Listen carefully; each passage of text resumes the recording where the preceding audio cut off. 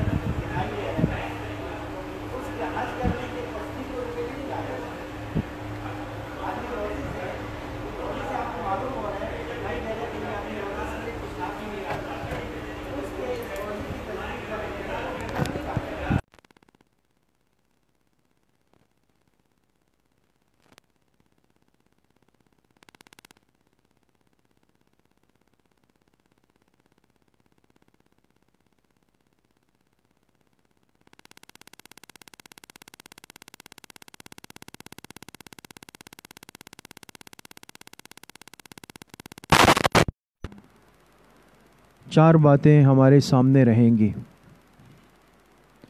सबसे पहले नंबर एक, सूरह कुरैश का तर्जमा। दूसरे नंबर पे, सूरतुल कुरैश की वजह तस्मिया।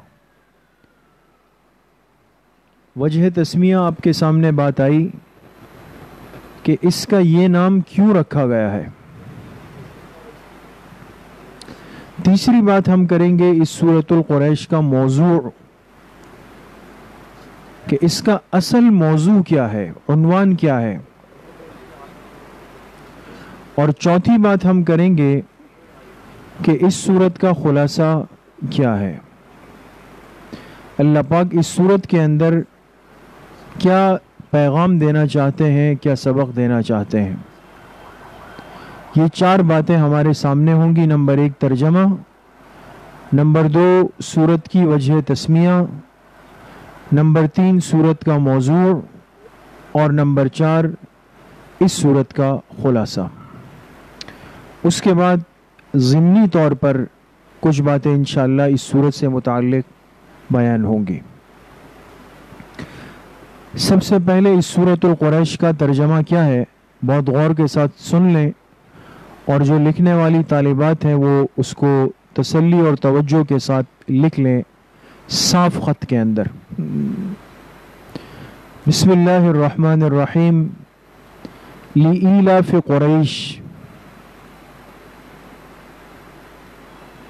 बवजह इस बात के, कि क़ुरैश को मानूस किया गया। बवजह इस बात के कि क़ुरैश को मानूस किया गया।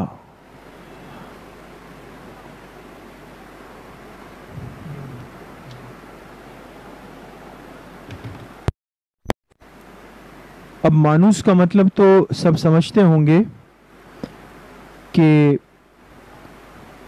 कोई भी चीज़ जिससे इंसान को मुनासिबत हो जाए, वो काम करना आसान हो जाए, दिल जुड़ जाए उस काम के साथ, उसको मानूस होना कहते हैं ना। तो देखिए, तर्जमे पे गौर करें बवजह इसके कि क़ुरैश को मानूस किया गया, किस चीज़ से? ईला फ़हिम रहलत शिता वसैफ़ यानी उनको मानूस किया गया, यानी उनको मानूस किया गया, सर्दी और गर्मी के मौसम के सफ़र से। यानी उनको मानूस किया गया सर्दी और गर्मी के मौसम के सफ़र से।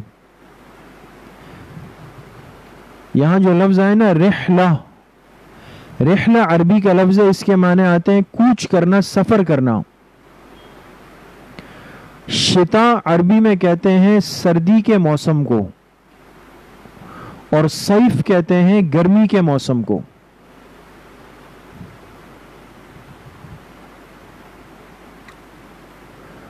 यानी उनको मानूस किया गया सर्दी और गर्मी के मौसम के सफ़र से। फलियाबुदू रब हाजल बैत। लिहाजा इन क़ुरैश वालों को चाहिए कि वो इस घर, यानी बैतुल्ला के रब ही की इबादत करें। तो क़ुरैश वालों को चाहिए फल याबुदू रब हाजल बैत, कि वो इस घर घर से मुराद, यानि बैतुल्ला, कि वो इस घर, यानि बैतुल्ला के रब ही की इबादत करे। अल्लदी मिनजू वो रब, जिसने उनको खिलाया भूख की हालत में। जिसने उनको खिलाया भूख की हालत में, यानी भूख से बचाकर उनके खाने का इंतज़ाम कर दिया। वह आमन मिन खौफ, और वो रब अमन दे दिया खौफ से बचाकर। और वो रब जिसने इनको अमन दे दिया खौफ से बचाकर। ये इस सूरह क्रैश का तर्जमा था जो आपके सामने ज़िक्र हो गया। एक बात। दूसरी बात यह कि सूर्य कुरैश की वजह तस्मिया क्या है? उम्मीद है कि आप तालिबात सब समझ गई होंगी कि इस सूरत को सूर्य कुरैश क्यों कहा गया?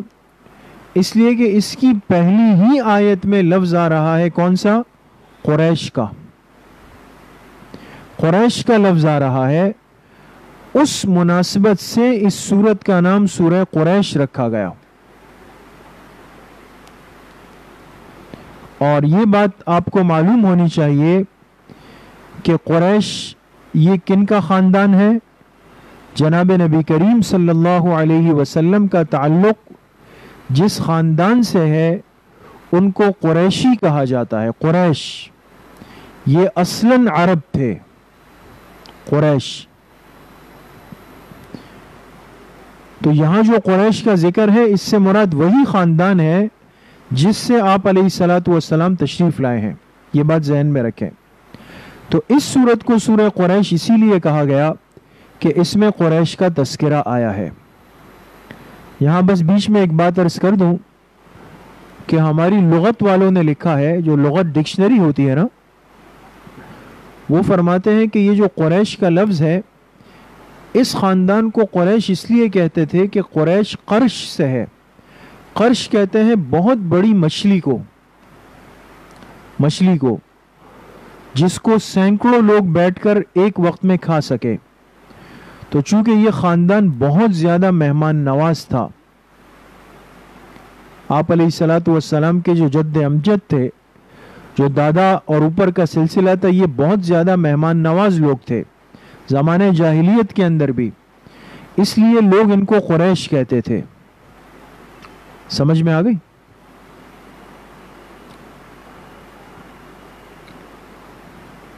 तीसरी बात, इस सूरत का मौजू क्या है? मौजू की तरफ़ जाने से पहले थोड़ा सा इस सूरत का पस मंज़र जानना ज़रूरी है तो आपको मौजू और ख़ुलासा समझना बहुत आसान हो जाएगा। इसलिए दो बातें हो चुकी है, बिल्कुल तरतीब के साथ चले हाँ। दो बातें हो गई, तर्जमा हो गया, सूरत की वजह तस्मिया हो गई। मैंने अर्ज़ किया कि आगे मौजू और ख़ुलासे के बीच में हमें थोड़ा सा इस सूरत का पस मंज़र जानना ज़रूरी है, वो मैं अभी अर्ज़ कर रहा हूँ। पस मंज़र क्या है? खाना काबा जो अल्लाह ताला का घर था,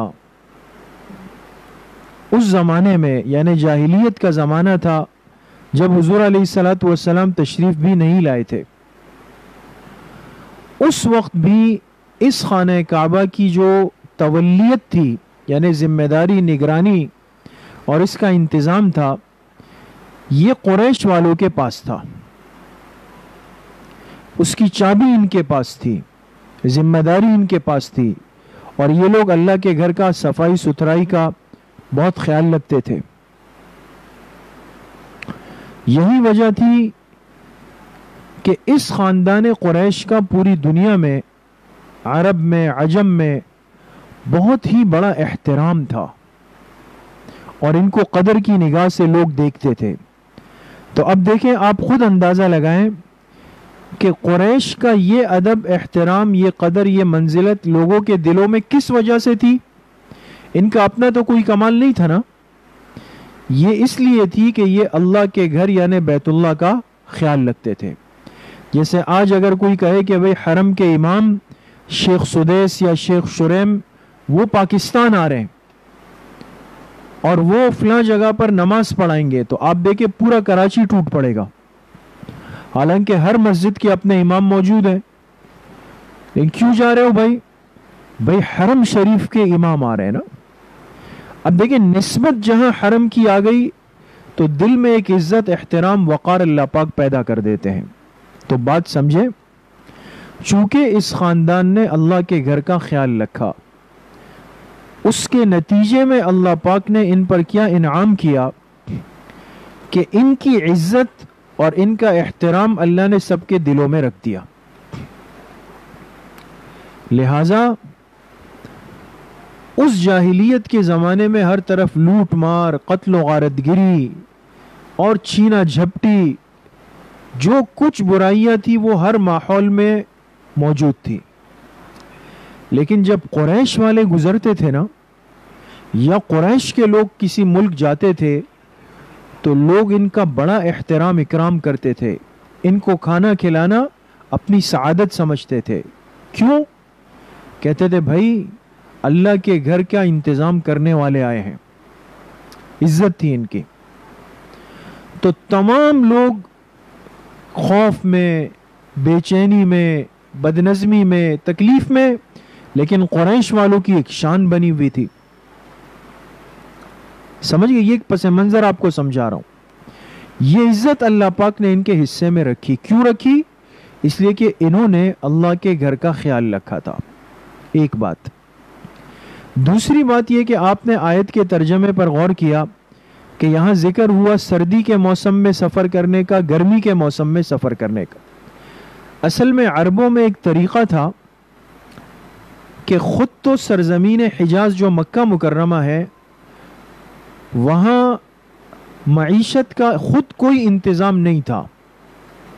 यानी फ़सलें नहीं थी, अनाज नहीं था, गल्ला नहीं था, बागात नहीं थे। तो लोग क्या करते थे? इसके लिए सफ़र करते थे। और उस ज़माने में बड़ी जो तिजारती मंडियाँ थी, बड़ी तिजारती मंडियाँ, वो दो मुल्कों में थी, एक यमन में और एक शाम में। एक यमन और एक शाम। अब गौर कीजिएगा और लिखिएगा इसको। सर्दी के मौसम में लोग सफ़र करते थे यमन का। इसलिए कि सर्दियों में वहाँ एक बड़ी तिजारती मंडी लगती थी। और गर्मियों में लोग सफ़र करते थे शाम का। इसलिए कि गर्मियों में शाम में बहुत बड़ी तिजारती मंडी लगती थी। तो सारी दुनिया के ताजिर लोग एक सफ़र सर्दी में यमन का करते थे, एक सफ़र गर्मी में शाम का करते थे। तो ये जो क्रैश के लोग थे ना, ये भी अपनी मीशत को और इंतज़ाम को पूरा करने के लिए एक तजारती काफिला भेजते थे। सर्दियों में कहाँ जाते थे? यमन। गर्मियों में कहाँ जाते थे? शाम। लेकिन आम लोग जब जाते थे तो ज़ाहिर सी बात है कि उनकी कोई हैसियत नहीं होती थी। जब कुरैश वाले जाते थे तो लोग कहते थे, भाई, खान काबा के खिदमत गुजार आ गए हैं। हर आदमी इनका ख्याल लगता था, इनके लिए अपने घर के दरवाजे खोलता था, चीज़ें इनको सस्ती बेचता था, अपनी तरफ़ से इनको हदिये तहाइफ दिए जाते थे। यानी आप अंदाज़ा लगाएँ कि अल्लाह के घर की उस खिदमत की वजह से ये अगर तिजारती सामान खरीदने जाते थे, तब भी लोग इनको इज़्ज़त देते थे। समझ गए? ये है इस सूरत का एक पस मंज़र, जो मैंने आपसे ज़िक्र कर दिया। ठीक है? अब आ जाए सूरत का मौजू क्या है? अल्फाज पे गौर कीजिएगा। सूरत का मौजू है फ़राइज़ इकराम व सूफिया इज़ाम फ़राइज़ इकराम व सूफिया इज़ाम। एक तबका होता है उलमा का, एक तबका होता है सूफिया का, स्वाद के साथ। दोनों में फ़र्क तो आप समझते होंगे ना? उलमा वो होते हैं जिनके पास शरीयत का इलम होता है। जैसे अभी आप बैठकर कुरान करीम की तफसीर पढ़ रहे हैं। हदीस का सबक होगा, फ़िका का होगा, मसाइल का होगा, है ना? माशरत का होगा। ये है इल्म शरीयत। ये आपको हासिल होगा उलमा से, मुअल्लिमात से। एक होता है इल्म तरीक़त, दिल की सफ़ाई। मेरे दिल में हसद है, कीना है बोझ है, गीबत का आदि हूँ, बदनजरी का मरीज़ हूँ। अब इस इलाज को करने के लिए वो अफराद चाहिए जिनके पास तरीक़त का इलम भी हो, तरीक़त का। लिहाजा वो आपको इन रूहानी अमराज से बचाने की कोशिश करेंगे। इन्हीं को हम शेख कहते हैं, पीर साहब कहते हैं, अपने बुज़ुर्ग कहते हैं और सिलसिले तसवुफ़ कहा जाता है इसको। तो ये दो सिलसिले दीन के चलते हैं। एक सिलसिला है कराम का, जिनके पास शरीयत का इलम है। एक सिलसिला है सूफिया इज़ाम का, जिनके पास तरीक़त का, यानी रूहानियत का इलम है। तो इस सूरत का मौजू क्या है? फ़राइज़ कराम व सूफिया इज़ाम। लिख ले इसको, फिर मैं अभी समझाता हूँ आप। फ़राइज़ कराम व सूफिया इज़ाम। इस सूरत ने बुनियादी तौर पे बता दिया कि जिनके पास दीन का मनसब हो। अब आलिम होना दीन का मनसब है ना? जो आपकी मदरसे की मालूमात है, इस तालीम दीन कोर्स की मालूमात है, या मुफ्ती साहब जो सबक पढ़ाते हैं, है ना? तो वो मनसब इल्म है। इस मनसब की कुछ जिम्मेदारियाँ बनती है। वो ज़िम्मेदारी क्या है? कि हम आपको इस जगह से बैठकर वही दीन सिखाएँगे जो कुरान से, हदीस से, सहाबा से साबित होगा। आपको गलत रास्ते पर नहीं लगाएँगे। गलत मसला नहीं बताएँगे। गलत तफसीर नहीं पढ़ाएँगे। गलत हदीस की तशरी नहीं करेंगे। गलत मुआशरत नहीं पढ़ाएँगे। गलत तजवीद नहीं पढ़ाएँगे। यह है फ़राइज़ इकराम, फ़राइज़ मुअल्लिमात। समझ गए? आपको शरीयत का इलम सही दिया जाएगा। और एक होता है सूफिया इज़ाम। सूफिया इज़ाम जो हमारे बातिन की कल्ब की असलाह कर सके। जैसे हमारे यहाँ ज़िक्र की मजलिस होती है, ऑनलाइन भी आती है, और ख़त्म ख्वाजगान होता है। अब ये जो ज़िक्र है, ख़त्म ख्वाजगान है, मुराकबा है ब्याद का सिलसिला है ये तसवुफ़ है, सूफिया इज़ाम का सिलसिला है। तो इनकी भी एक ज़िम्मेदारी बनती है, फ़राइज़ बनते हैं। ये लोगों की गलत रहनुमाई नहीं करेंगे। आजकल आपने देखा होगा, बाज़ लोग कहते हैं, हमारे फला पीर साहब है। जब आप पीर साहब को देखें तो बड़े बड़े बाल औरतों की तरह हैं। दाढ़ी मुंडी भी है, मर्दों पे भी हाथ रख रहे हैं, औरतों पे भी नवजुबिल्ला हाथ रख रहे हैं। मर्द व जन के साथ इख्तलात करते हैं। बेपर्दगी है, बेहयाई है। लोगों से नजराने वसूल कर रहे हैं, धोखा दे रहे हैं। खुद नमाज़ नहीं पढ़ते, गलत किस्म के अमलियात करते हैं। ये धोखा और फ्रॉड है, याद रखें। ये सूफिया कराम या शयूख और पीर नहीं है। सूफिया और पीर और शेख वो होते हैं कि जो सौ फ़ीसद दीन पर सुन्नत तरीके पर अमल करें। समझ में आ गई? इसलिए उन उलमा से दीन सीखें और उन शयूख और बुज़ुर्गों से अपनी सहबत और ब्यात का सिलसिला जोड़ें, जिनके पास दीन शरीयत का इलम भी हो, दीन तरीक़त का इलम भी हो। तो मौजू मैंने अर्ज़ कर दिया, फ़राइज़ कराम व सूफिया इज़ाम। चौथी बात, सूरत का खुलासा क्या है? बहुत अहम बात और तवज्जो के साथ लिखे और समझे। सूरह कुरैश का खुलासा क्या है? आपसे मैंने एक पस मंज़र अर्ज़ किया कुरैश वालों का ना? अब आप खुलासा समझना आसान होगा। खुलासा लिखें, अल्लाह के घर, यानी मसाजिद की खिदमत ख्याल रखने वालों को। अल्लाह के घर, यानी मसाजिद की खिदमत व ख्याल रखने वालों को दुनिया में भी राहत व सुकून नसीब होता है। दुनिया में भी राहत व सुकून नसीब होता है। अब देखें, जो आदमी अल्लाह के घर की खिदमत करे, ख्याल रखे, उस पर खर्च करे, हर मुसलमान कहते हैं, भाई, आखिरत में इसको अल्लाह ये देंगे, इसके लिए जन्नत में महल बनेगा, इसके लिए जन्नत के बीच में घर बनेगा। ये सारे फ़जाइल हदीस पाक में आते हैं। यहाँ तक कि एक हदीस में आता है, आप सलाम ने फरमाया, जिसने मस्जिद में इतना हिस्सा डाला जैसे चिड़िया का घोंसला। चिड़िया का घोंसला छोटा सा होता है ना, बड़ा तो नहीं होता। जिसने इतना सा हिस्सा भी डाला तो अल्लाह पाक इसके लिए जन्नत में अपनी शान के मुताबिक एक महल तैयार करेंगे। अब मस्जिद की खिदमत का तो आखिरत में कितना बड़ा अजर है और अल्लाह कितना नवाजेंगे, ये तो हम दुनिया में सोच भी नहीं सकते। तो ये तो हर मुसलमान के दिल दिमाग में है कि अल्लाह के घर की मस्जिदों की खिदमत से आखिरत में बहुत बड़ा अजर है। लेकिन लेकिन आज के सबक से ये समझ कर जाएँ कि जो मस्जिदों का ख्याल रखता है, खिदमत करता है इस दुनिया में भी अल्लाह पाक उसको राहत और सुकून नसीब कर देते हैं और ये हमने अपनी आँखों से देखा है। इसलिए मस्जिदों का ख्याल रखना चाहिए।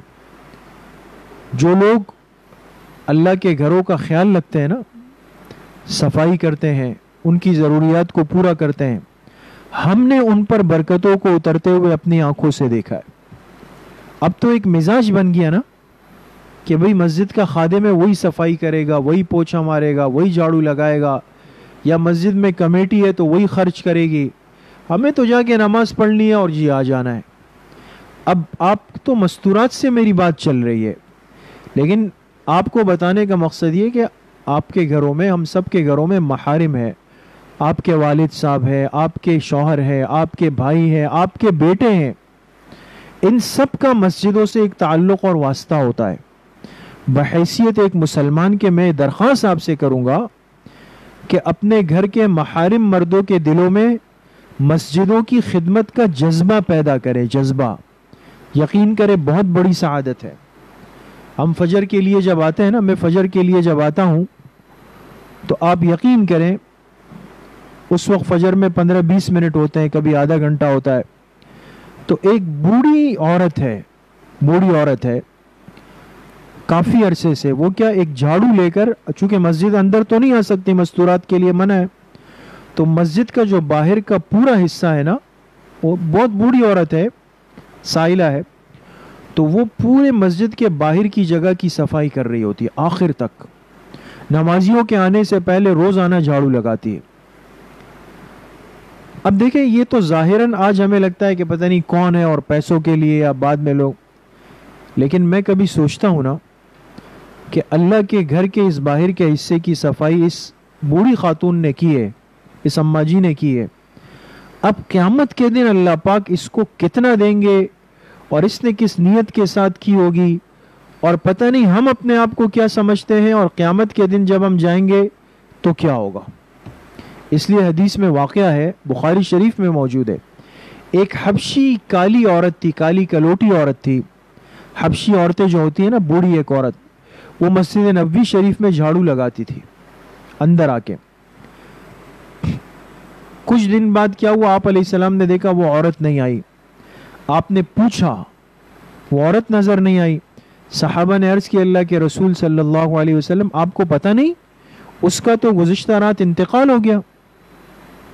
तो आपने फरमाया, तुम लोगों ने मुझे बताया नहीं?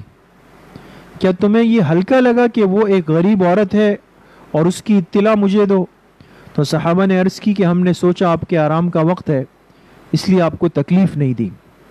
अब देखें, आप सलाम ने सहाबा से फरमाया कि मेरी रहनुमाई कर दो, मुझे उसके घर तक ले जाओ, उसकी कब्र तक ले जाओ, मुझे उसकी कब्र तक ले जाओ, आप सलाम ने फरमाया। हाँ। सबक चली गई। सबक दे तालीम दीन आपने फरमाया, मुझे उसकी कब्र तक ले जाओ। सहाबा ले गए। आप सलाम ने वहाँ कब्र पे खड़े होकर पीछे सहाबा को खड़ा किया और उस झाड़ू लगाने वाली औरत की नमाज़ जनाजा दोबारा पढ़ाई उसकी कब्र पे। मुहदसिन ने फरमाया ये इस औरत की खसूसियत थी कि अल्लाह पाक ने इसको इतना बड़ा मकाम दिया। तो मस्जिदों की खिदमत करना, उसका ख्याल रखना, ये छोटा काम नहीं होता। ये बहुत बड़ा काम होता है। ठीक है, आप मस्तूरात हैं। आप क्या करें? अपने महारिम मर्दों में ये जज्बा पैदा करें उनमें कि भाई मस्जिद का ख्याल रखना है, सफ़ाई का ख्याल रखना है, मस्जिद की कोई ज़रूरत पेश आ गई, उसका ख्याल रखना है। आप अपने रिस्क हलाल में से जमा करें और जहाँ आपको महसूस हो मस्जिद की तामीर हो रही है तो अपने बच्चे के हाथ, किसी के हाथ भेज दे कि भाई मेरे यह हिस्सा जाके इसके अंदर शामिल कर दिया जाए। तो अल्लाह पाक दुनिया में भी राहत व सुकून नसीब फरमाते हैं। ये चार बातें हो गई। आखिरी बात वो है इस सूर कुरैश का एक पैगाम और इस सूरत का एक सबक। इस सूरत का पैगाम और सबक क्या है? ये बड़ी अहम बात हकीम उम्मत हज़रत मौलाना अशरफ अली थानवी रहमत ने लिखी है। सब इसको लिख लें अपने पास। हज़रत थानवी रहमत फरमाते हैं कि जिस शख्स को अमर दीनी की वजह से, यानी दीन के मामले की वजह से, जिस शख्स को अमर दीनी, यानी दीन के मामले की वजह से इज़्ज़त और माल नसीब हो जाए दीन के मामले की वजह से इज़्ज़त और माल नसीब हो जाए तो उस पर बजाय फ़ख्र दावा के तो उस पर बजाय फ़ख्र दावा के, शुक्र इताअत के अहतमाम में और ज़्यादा बढ़ना चाहिए। उस पर बजाय फ़ख्र दावा के, शुक्र इताअत के अहतमाम में और ज़्यादा बढ़ना चाहिए। अब ये बड़ी अहम बात है। एक शख्स को इज़्ज़त उसके दीन की वजह से मिलती है। मिसाल के तौर पे हम मस्जिद की खिदमत करते हैं। मैं मस्जिद का खादिम हूँ। और इस खिदमत की वजह से लोग मुझसे मुसाफा करें। इस खिदमत की वजह से कोई मुझसे अदब के साथ मुलाकात करें। या मदरसे का कोई उस्ताज है। या किसी मस्जिद का इमाम है, या बनात की मुअल्लिमा है, ये दीनी नस्बत है ना? उसकी वजह से कोई उनकी इज़्ज़त करे, उनकी खिदमत करे तो बाज़ दफ़ा शैतान दिल में गलत जज्बात पैदा करता है कि देखो, ये लोग झुक कर तुमसे सलाम करते हैं। देखो, लोग तुम्हारे जूते सीधे करते हैं। तुम्हारी तो एक टोर है, एक शान है। तो बजाय फ़ायदे के क्या होता है? दिल के अंदर उजुब तकबर पैदा होने लगता है। हालाँकि ये इज़्ज़त मुझे दीन की वजह से मिली। तो हज़रत थानवी फरमाते हैं कि जब इज़्ज़त दीन की वजह से मिल जाए तो बजाय अंदर फ़ख्र दावे के, हमारे अंदर शुक्र इतात के जज्बात और बढ़ जाए। और हम कहें, अल्लाह पाक से, अल्लाह, मेरी तो कोई हैसियत नहीं थी। मैं तो एक बेकार, कमज़ोर, आजिज, नाकिस किसी काम के काबिल बंदा या बंदी नहीं थी।